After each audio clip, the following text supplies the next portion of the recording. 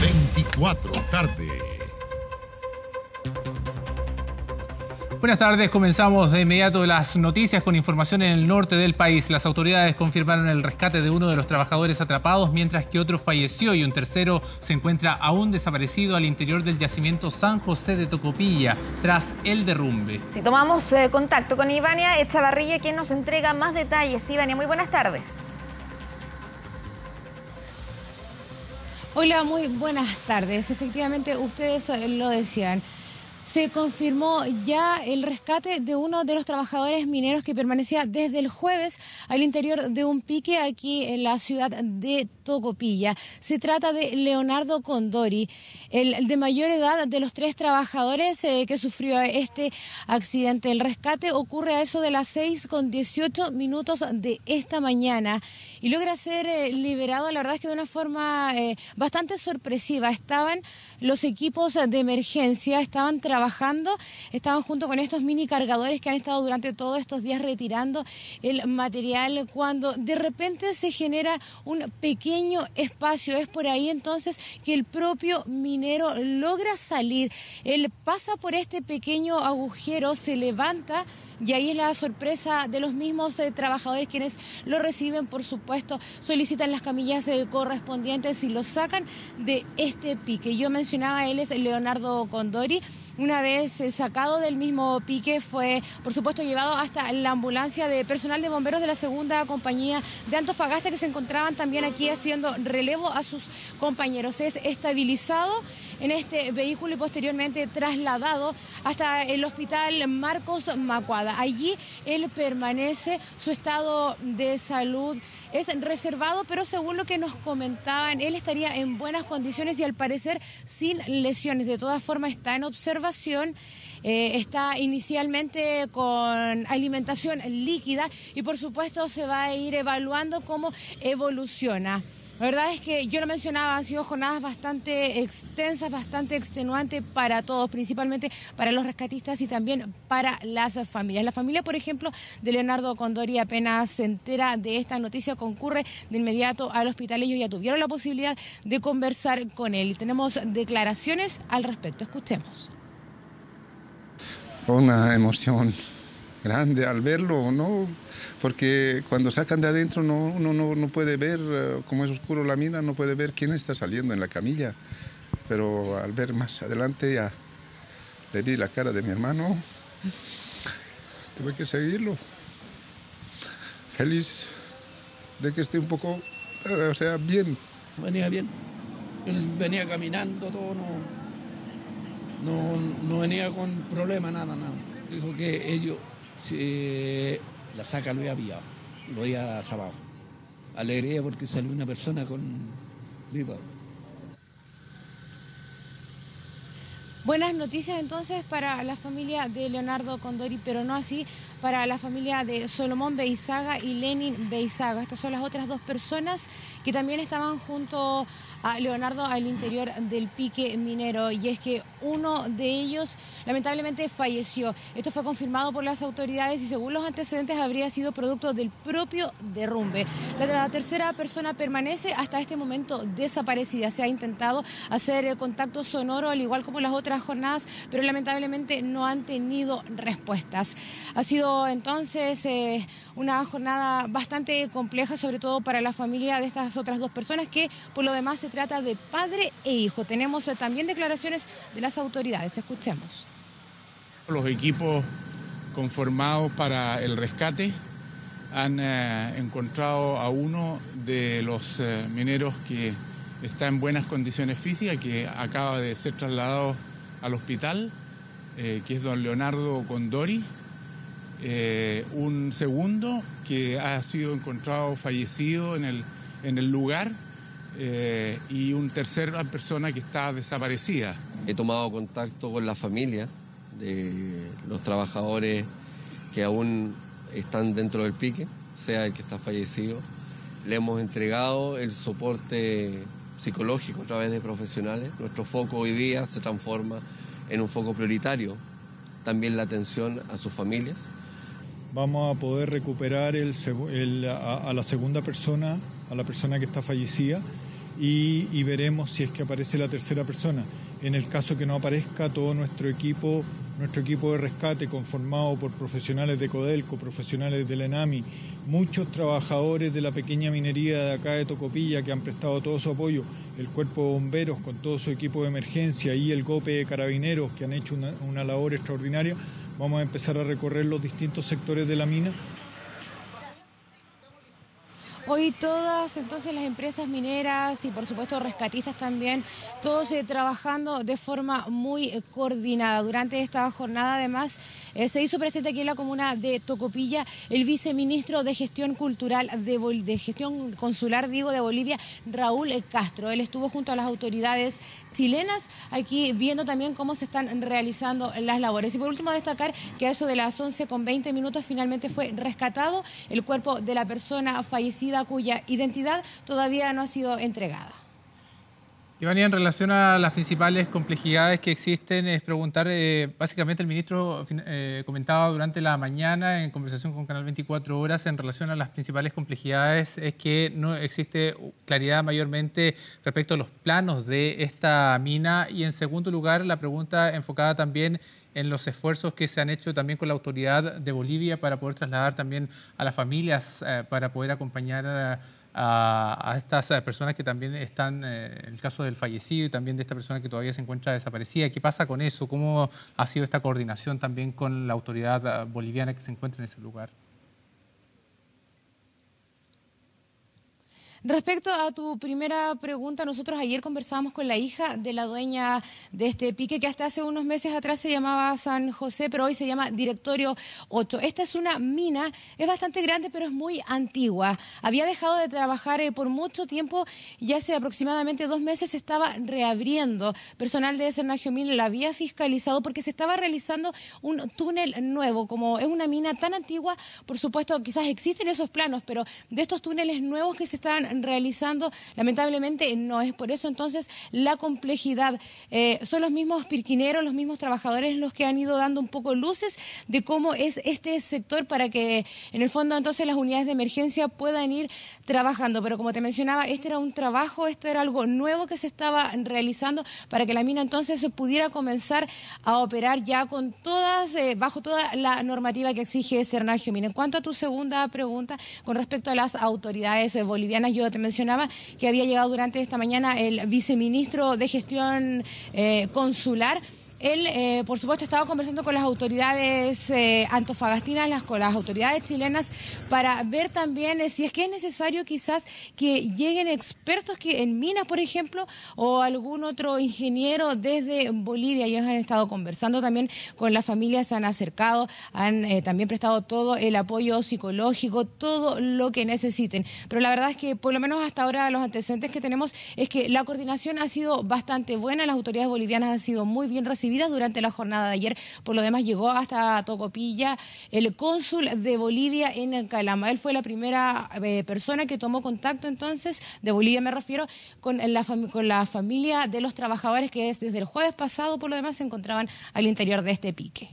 Bien, Ivania, quedamos atentos también al desarrollo de esta noticia y a las novedades que puedan surgir durante esta tarde. Muchas gracias. Y cambiamos de tema. Una mujer quedó gravemente herida producto de las agresiones que le propinó su propia pareja, dejándole lesiones provocadas incluso con un sable. Vamos a conocer los detalles de esta y otras eh, informaciones policiales de las últimas horas junto a Joaquín Aravena. ¿Cómo está Joaquín? Buenas tardes.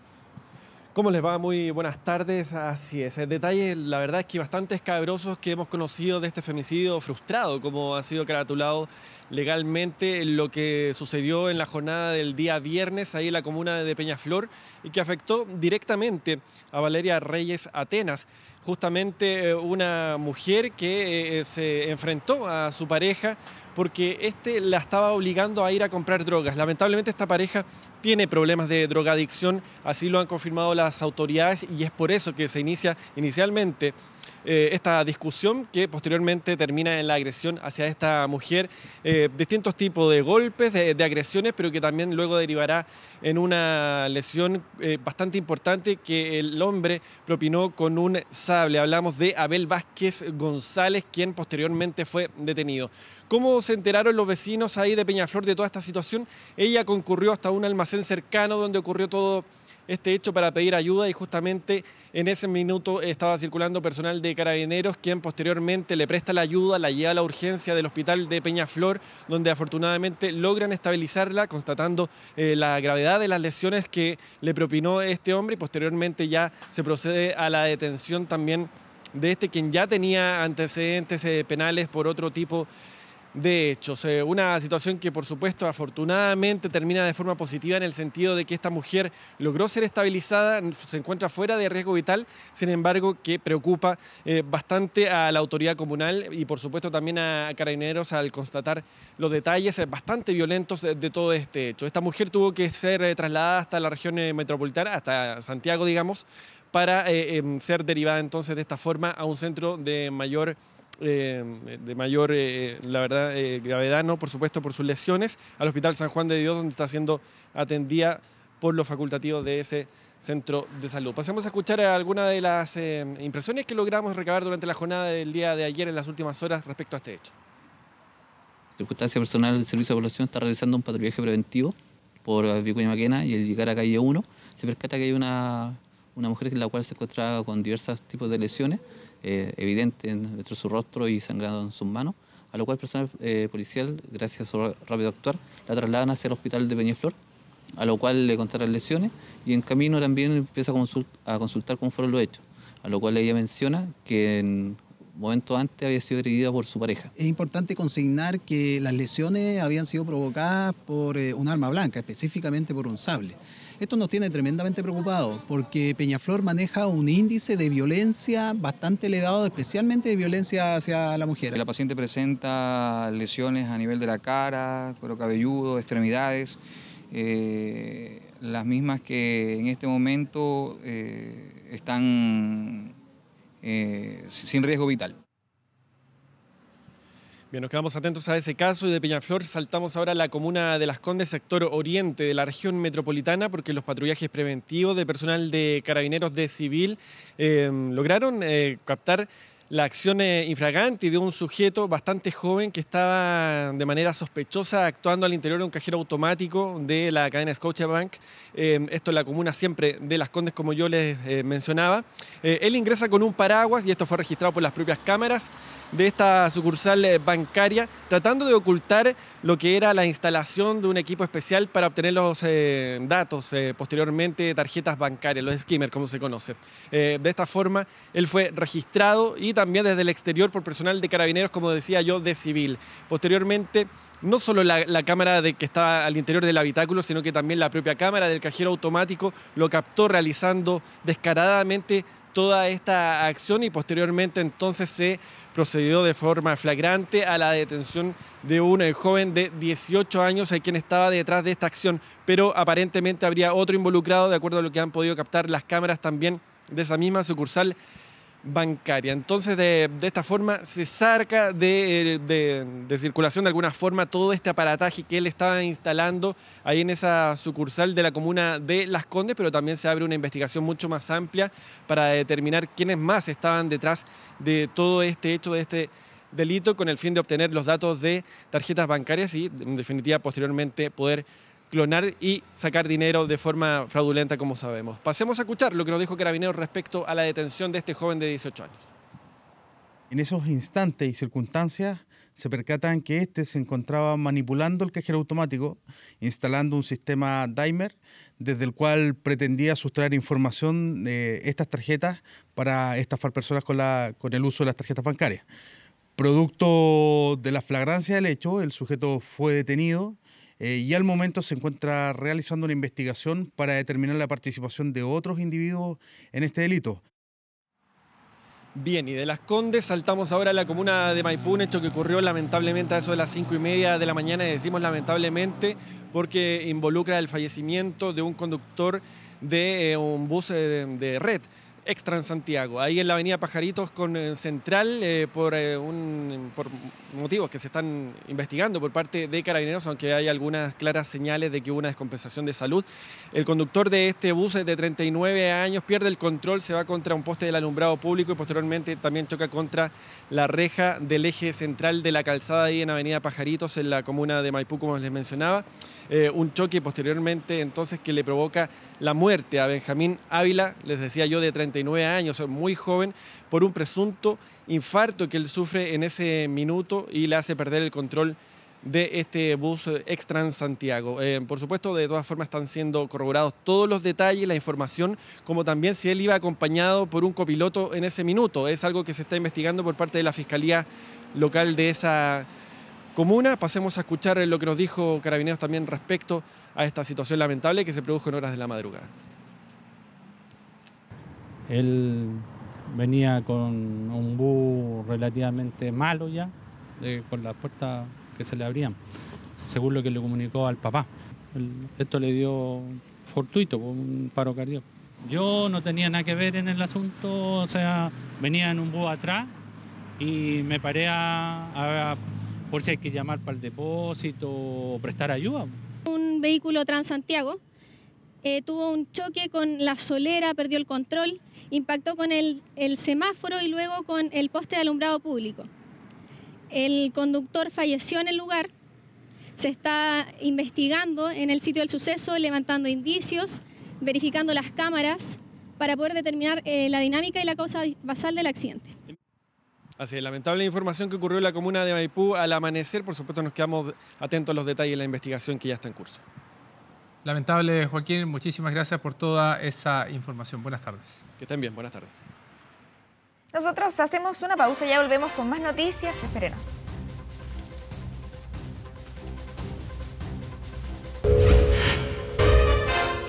Regresamos con más noticias. El Ministerio de Salud realizó un balance de las enfermedades virales en el país a días de que comience el invierno. Una de ellas es el virus incisional que aumentó en un 50% durante la última semana. Nos va a entregar más detalles a esta hora Rodrigo Pérez. Rodrigo, buenas tardes. Hola, ¿cómo están? Buenas tardes. Época de frío, también llegan las bajas temperaturas y también las lluvias. Y una de las preocupaciones que se ha dado es el aumento de enfermedades respiratorias, donde afectan a los niños, también a los grupos de riesgo, sobre todo los adultos mayores. Y esa es el virus sincicial, que durante la última semana aumentó en un 50% en toda la población nacional, donde han habido casos de gente hospitalizada, adultos mayores, también los pequeños de dos años, los lactantes de seis meses y también quienes están eh, prematuros todos esos grupos de riesgo han sido afectados por este virus que ha aumentado un 50%, 50% bien digo, en las últimas semanas y es por eso que se ha iniciado la campaña de prevención para que esta enfermedad no pueda aumentar y se pueda estancar durante este invierno que ya se acerca en los próximos días. Y una de las recomendaciones que ha dado el Ministerio de Salud es lavarse bien las manos, sobre todo cuando unas personas están afuera en las calles para así evitar su propagación masiva.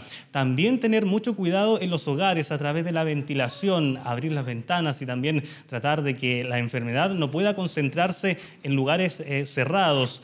Todo con el fin de evitar que el virus incisional se pueda propagar a estos grupos de riesgo, como mencionaba, que ha afectado al 50% y que ha aumentado en esta última semana, sobre todo con estos eh, grupos de niños y también de adultos mayores. Conversamos con la subsecretaria de Salud Pública, Paula Daza, quien detalló parte de esas cifras, así que pasemos a escuchar lo que indicó la autoridad. Ha aumentado de 120 a 240. En una semana, en siete días, este virus aumentaba la circulación en un 50%. También tenemos que decir que todos los años hay una alta tasa de hospitalizaciones por este virus, principalmente los niños. Bien, la autoridad también señalaba sobre otra enfermedad que ha sido el virus de la influenza, donde actualmente el 85% de la población objetivo ha sido vacunada. Esto significa que más de 5 millones de personas chilenos ya están inmunizados con esta enfermedad que también afecta a los adultos mayores, también a los pequeños y que también se hace el llamado a que las personas, las mujeres embarazadas, puedan acercarse mm, a los consultorios para así acceder a esta vacuna de manera mm, gratuita. Años anteriores, hasta el año 2018, también se vacunó hasta esta misma fecha el 85% de la población, mientras que el año 2017 y 2016 fue el 81% aproximadamente de lo que hasta esta fecha estaba vacunado, por lo que las autoridades hacen eh, un balance positivo en cuanto a la mm, vacunación. Y pasemos a escuchar también a la mm, subsecretaria detallando parte de lo que es este plan en cuanto a la influenza. En la medida que tengamos una buena cobertura de vacunación, un 85%, vemos que la circulación disminuye y que también protegemos a aquellos que no están vacunados. Vamos a seguir vacunando contra la influenza porque virus influenza va a seguir habiendo durante el invierno. Bien, un aumento en la vacunación de esta enfermedad que durante la última semana fueron 100.000 dosis las que se aplicaron eh, ya a nivel nacional y se espera que a partir del lunes de esta próxima semana aumente la dosis en 180.000 para estos grupos de riesgo todo en el medio de la campaña para evitar que la influenza pueda propagarse y también el llamado a que los niños y también los adultos mayores tengan las preocupaciones para evitar que el virus incisional pueda aumentar en estas épocas de frío, sobre todo cuando ya quedan muy pocas semanas y muy pocos días para que comience el invierno. Bien, Rodrigo, seguiremos atentos también a esas eh, recomendaciones, lavarse bien las manos y evitar el contacto también con personas enfermas. Muchas gracias. Bien, hacemos una breve pausa en las noticias, ya estamos de vuelta, hay más informaciones, no se vayan.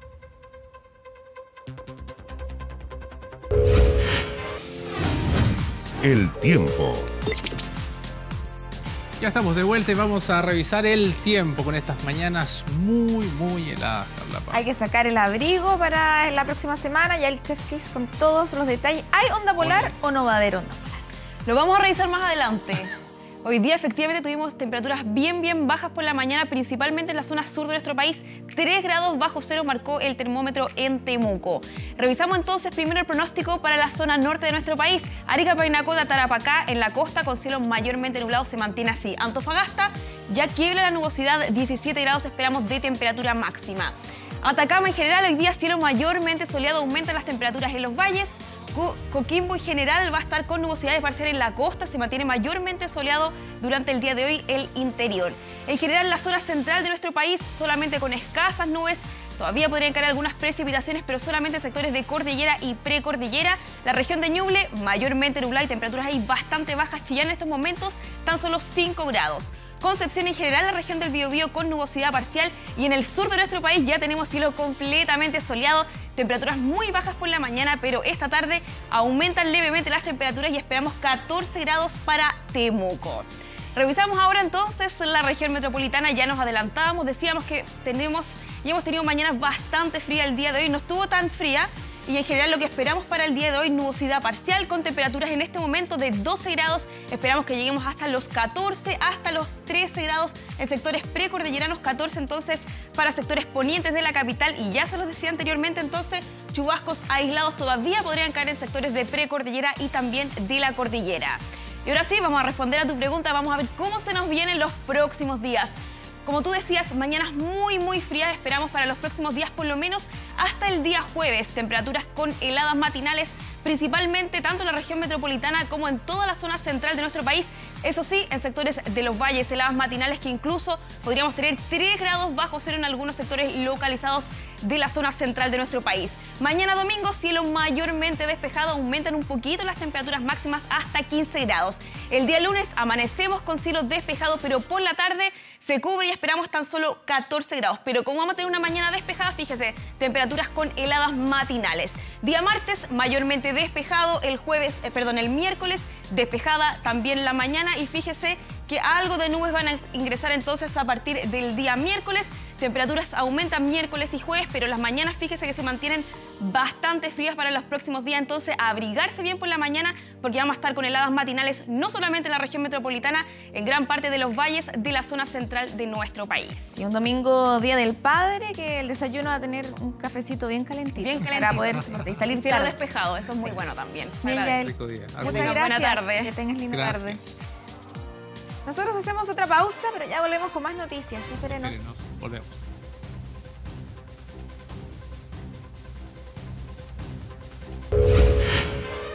Copa América que se vive también por las pantallas de televisión nacional y todos los detalles, eh, no solamente del fútbol, sino que también de otros deportes con Rodrigo Arellano. Rodrigo, ¿cómo estás? ¿Cómo están? Balón incluido. Balón incluido, listo. Balón incluido. Acá estamos con nosotros con la Rabisco, esta pelota de la Copa América que ya arrancó con una victoria de Brasil por 3 a 0 ante Bolivia. Pero la selección chilena ya cuenta las horas para el debut en esta Copa América. El estreno va a ser este lunes contra Japón a las 7 de la tarde en Sao Paulo. Y desde esta ciudad está con nosotros Pablo Ramos con todos los detalles. ¿Cómo estás, Pablo?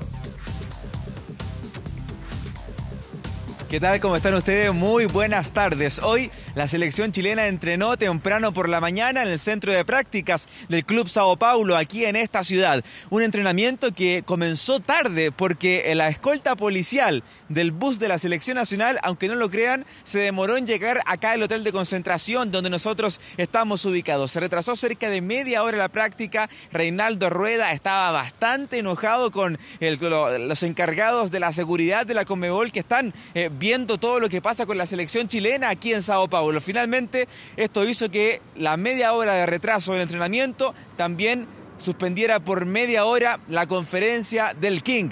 Arturo Vidal, quien hoy enfrentó a los medios de comunicación aquí en la capital paulista. Habló de muchas cosas Vidal y fue una conferencia bastante sabrosa eh, respecto a los objetivos que se traza la Roja aquí en la Copa América y también cómo se siente él trabajando en el esquema de Reinaldo Rueda. Pasemos a escuchar declaraciones del volante chileno. Sabemos que fuimos campeones dos veces de la Copa América, pero después tuvimos la, mala fortuna de quedar eliminado, entonces todo se empieza nuevo, un proceso nuevo, nuevos jugadores, nuevo entrenador. Hemos entrenado muchas cosas, muchos sistemas diferentes, así que mi posición puede cambiar en cualquier momento dentro de la cancha. Y, claro, hay veces que te critican y eso, eso duele, pero, pero es cosa de esto. Y sí, una vez tuve ganas de dejar la selección, pero me ganó mal el corazón. Creo que la selección es lo más importante. Si él no pasaba la primera, la primera ronda, la NFP tiene decidido eh, quizás cesarlo, lo más probable. Para ti y para, para la selección, ¿es una presión extra esto? ¿Crees que sería una buena decisión cortar este proceso? yo creo que ya esa, esa pregunta, yo creo que esa pregunta ya es mala, ya pensar en eso, pensar de que se tiene que ir el entrenador, pensar que no va a pasar la primera, eh, Espero que no, espero que no pase eso, espero que el profe dure mucho tiempo acá, que haga su proceso que, que tiene que hacer, como lo ha hecho en otros países que ha llevado al Mundial.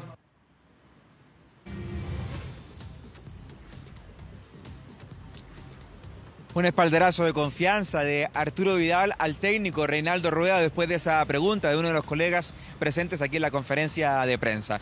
Hoy por la tarde, La Roja, que está eh, almorzando a esta hora acá en el Hotel Pullman Vila Olimpia de Sao Paulo, tiene una charla conceptual. Eh, ¿De qué trata esto? Eh, les van a explicar en una sala dentro del hotel cuáles son las nuevas reglas de la FIFA que está instaurando en el fútbol, las cuales se van a aplicar aquí en esta Copa América. Y una vez finalizado esto, van a tener una sesión de fotos con la Conmebol, esa típica foto que ustedes ven o, o video o escena de presentación los esquemas o antes de los partidos, se graba ahora aquí en este hotel. Mañana vuelven a entrenar, pero por la tarde en el Estadio Morumbí, ya reconociendo terreno para el partido de este lunes, el debut de La Roja en la Copa América de Brasil.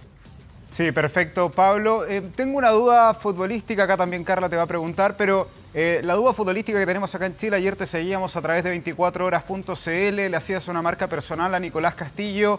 Eh, ¿Cuál es el estado actual del delantero de la selección que hasta hace algunas horas tenía la preocupación de todo el cuerpo médico? ¿En qué está Nicolás Castillo y cómo se va a solucionar eso acá mañana?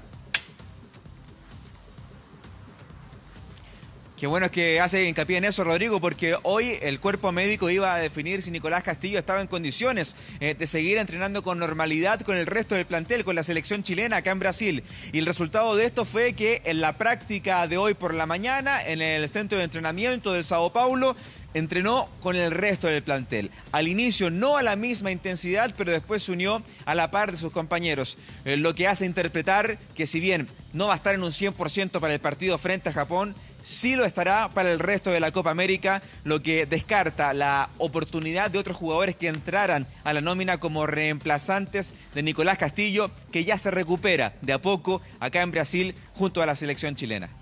Sí, Pablo, Carla por acá. Te queríamos preguntar cómo se está viviendo el ambiente. Brasil es un país que contagia su alegría, que lo hemos visto en otros eventos deportivos, en el Mundial, los Juegos Olímpicos, pero ahora vive, claro, una crisis más institucional, eh, con temas políticos también de por medio. ¿Se siente esa vibra ya de fiesta mundialera, fiesta futbolera? Carla, ayer hubo pifias en el partido de Brasil frente a Bolivia, que si bien terminó con triunfo 3 a 0 para la verde amarela, en el entretiempo, después de que estaban 0 a 0 en el marcador, se escucharon eh, las pifias desde las tribunas del Morumbí hacia los jugadores, lo que molestó mucho al plantel eh, de la, dirigido por Tite.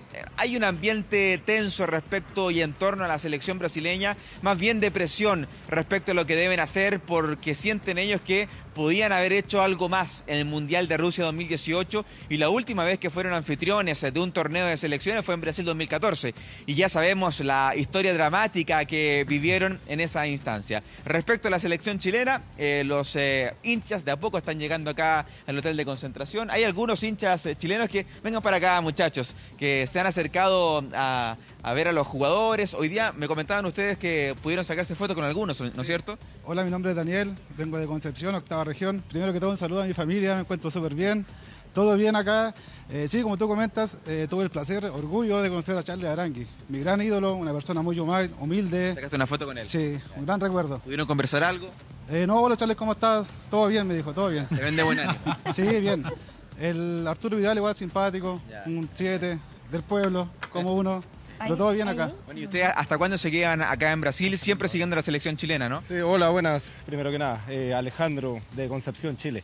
Eh, sí, estamos hasta el 24 de junio, más o menos. Entonces ahí nos vamos de Río. No alcanzamos a ver el último partido, pero vamos a estar el inicio el día lunes eh, apoyando a nuestra selección. Bien, muchachos. A disfrutar esta Copa América entonces, ¿ah? que ojalá sea muy atractiva para los hinchas y también para la selección nacional que pueda avanzar a instancias finales en este certamen, Rodrigo. Muy bien, muchas gracias Pablo Ramos. Y ahora nos vamos a mover a otro sector de Sao Paulo, porque ahí está también nuestro compañero Rodrigo Siderakis, quien nos va a mostrar algunos detallitos en la previa de este Chile-Japón. Hay compatriotas con entradas, otros que están haciendo filas para conseguir un ticket. Mientras tanto, algunos solamente fueron a disfrutar y llevaron quizás algún emprendimiento. ¿Cómo te va, Rodrigo? Bienvenido. Hola, ¿cómo están? Seguimos aquí en Sao Paulo, esta vez en el Memorial de las Américas, un lugar realmente hermoso, una arquitectura preciosa de esta ciudad, pero este es un sitio muy especial. Aquí está repleto de hinchas, como ustedes van a ver en las imágenes, quienes vienen a retirar las entradas para el partido entre Chile y Japón del próximo lunes, pero también hay hinchas latinoamericanos que vienen también a retirar sus tickets para otros juegos. Aquí el ánimo está muy alto, los chilenos dicen que van a obtener un, un, un triunfo, ojalá sea un título, un triunfo el próximo lunes y el ánimo está realmente arriba en esta zona donde la mayoría de las personas que han llegado aquí son de la marea roja. Vamos a escuchar algunas declaraciones, hemos encontrado hinchas de Chiloé, hemos encontrado algunos que vienen incluso de Punta Arenas que llegaron esta mañana para seguir a la selección chilena en esta entrega de entradas. Acá hay muchísimas personas, el proceso es una fila muy larga, tienen que validar su ticket, este es entregado y luego salen de aquí realmente felices, ¿no? Como que hubiese obtenido un gran premio el llegar acá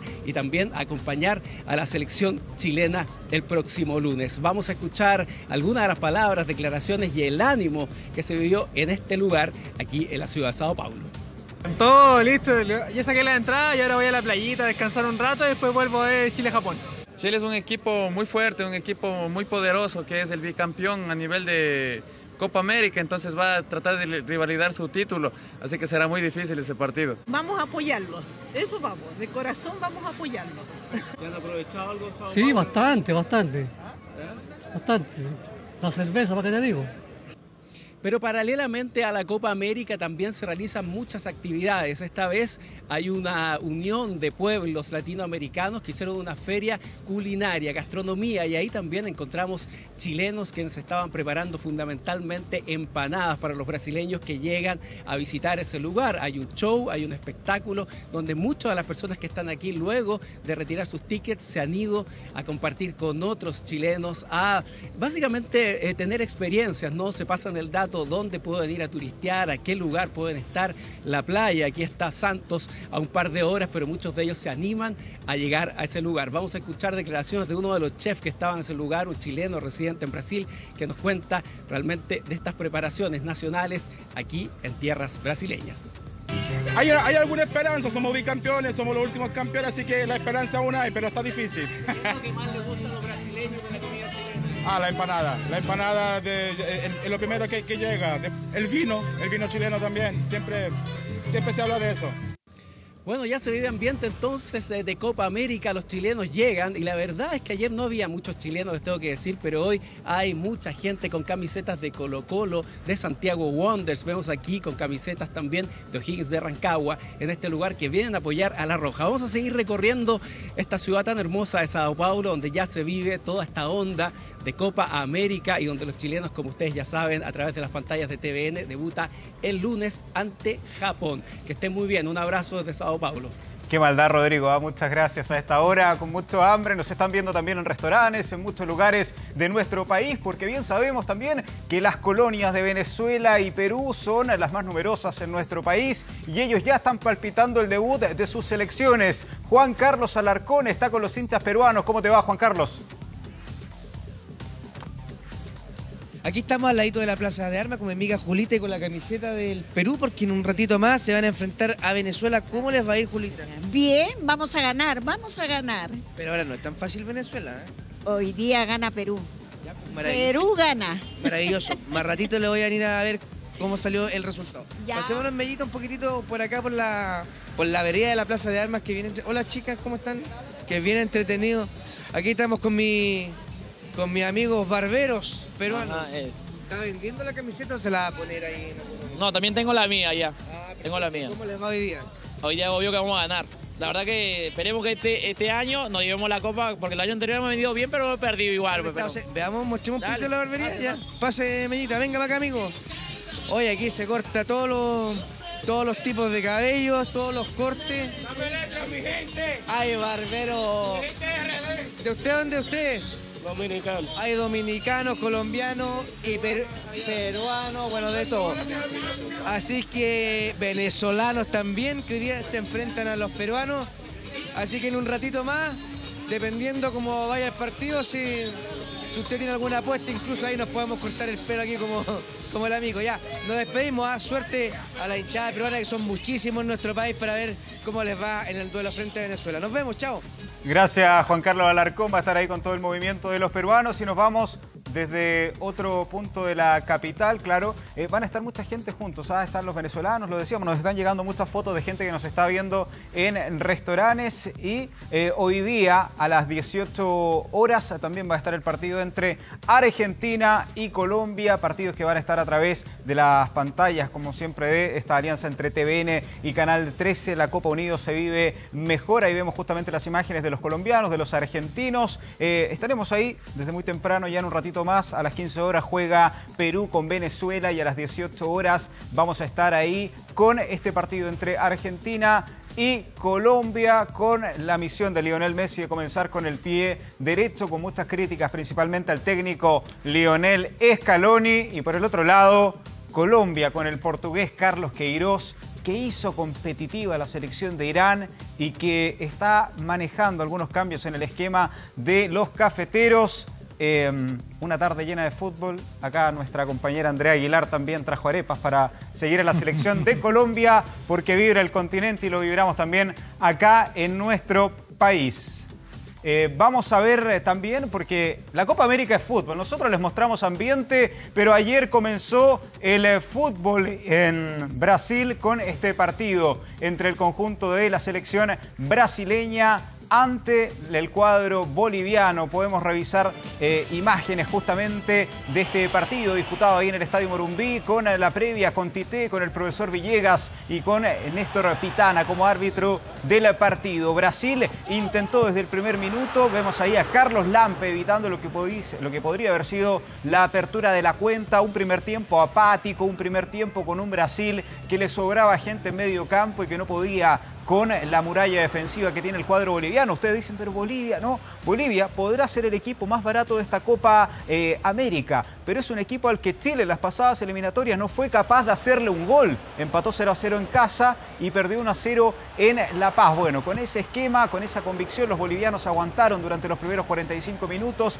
Richarlison, buena figura de Brasil, uno de los que más buscó, no pudo romper el cero y tuvieron que esperar hasta el minuto 50 del segundo tiempo, cuando, gracias al VAR, porque el balón seguía, pudieron por fin celebrar los brasileños. Vamos a ver ahí la repetición. Néstor Pitana tuvo que ir justamente a revisar en el bar específicamente eh, esta mano que finalmente era evidente que así había sido, nada que reclamar, eh, se equivocaba el defensor eh, eh, Yusiño, nacido en Springfield, Estados Unidos, pero que juega por Bolivia y Coutinho aprovechaba este error, ahí hubo un desplazamiento de la mano, nada que discutir, fue penal y gracias al VAR Brasil que se fue entre pifias en el primer tiempo, abría el marcador. Coutinho, compañero de Arturo Vidal en el Barcelona, entonces abría el marcador y mira esta buena jugada otra vez por la derecha, le queda el balón ahí a Richarlison y el que entra con todo es Philippe Coutinho, que en el minuto 53 cambiaba las pifias por aplausos.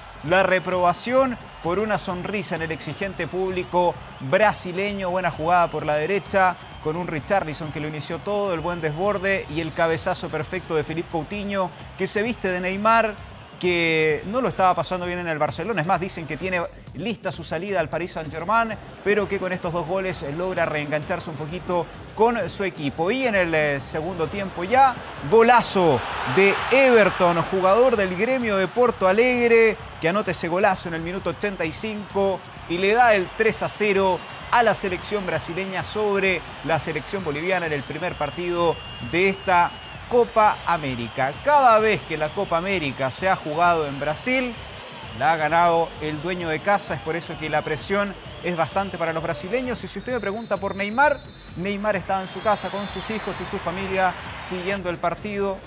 Eh, subí algunas imágenes a través de redes sociales. Eh, por ahora sonríe la selección brasileña, tarde llena de fútbol acá en TVN. ¿Se esperaba ese resultado?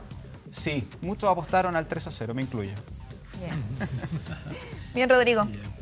Seguiremos también el desarrollo de esta Copa América por de pantallas eh, de Televisión Nacional, unida también con Canal 13. Sí, 15 horas el partido lo marcamos entre Venezuela y Perú. A las 18 horas vamos a estar con Argentina y Colombia y lo invitamos también en Canal 24 horas a partir de las 17 horas con toda una previa ahí en Sin Miedo.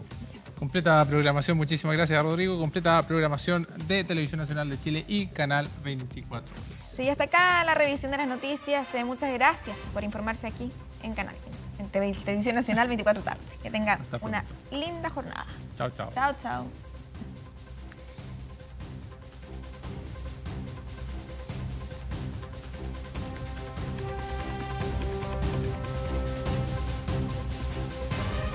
Hemos presentado 24 tarde.